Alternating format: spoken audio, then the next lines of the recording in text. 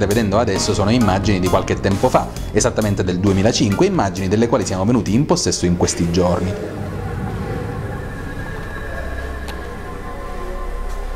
Si tratta dell'interno dello stabilimento di Via delle Terme, ad Acireale. Notate crepe sui muri, bagni di velti, vasche di Eternit.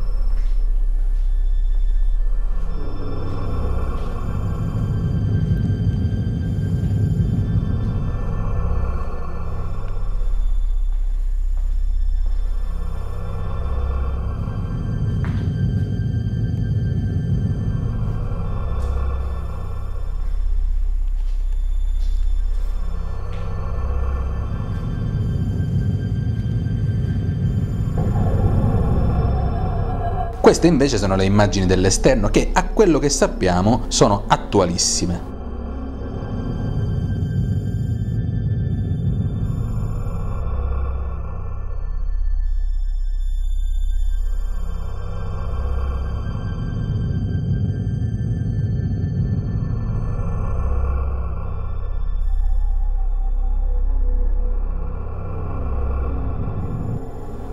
Ma come si è arrivati a questo?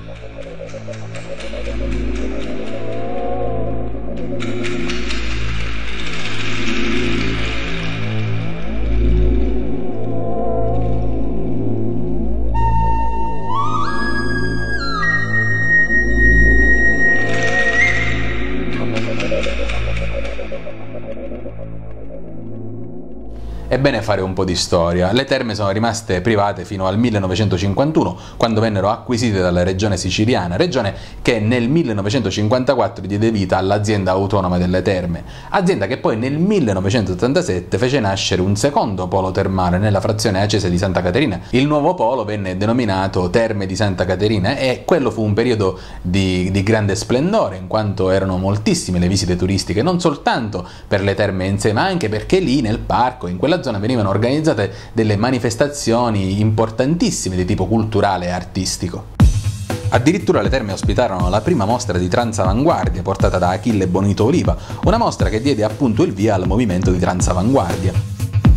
Fu poi il luogo scelto dal Jazz Brass Group di Acireale, che lì mise in scena dei concerti memorabili portando artisti di altissimo livello, livello internazionale ed è stato anche set cinematografico, lì ad esempio vennero girate le sequenze indimenticabili di Palombella Rossa di Nanni Moretti. Poi però dopo questo periodo di splendore che portò il cinema che conta da quelle parti, iniziò la crisi. L'ultimo consiglio di amministrazione dell'azienda autonoma risale all'inizio degli anni 90, presieduto dall'ex sindaco Rosario Lenardi. Dopodiché vennero nominati una serie di commissari straordinari, nomi dei quali state vedendo scorrere velocemente qui davanti, commissari che rimasero nella struttura fino al 1999. Nel 1999 la regione siciliana ha deciso di privatizzare le terme, di avviare cioè un percorso di privatizzazione.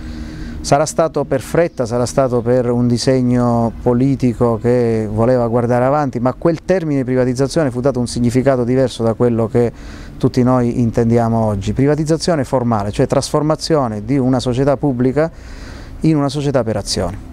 E la società per azioni poi per entrare a regime ehm, ci sono voluti circa sei anni, perché in realtà è proprio alla fine del 2005 che eh, parte la società per azioni, quella che poi ebbe il primo consiglio di amministrazione affidato e presieduto dall'imprenditore Claudio Angelucci.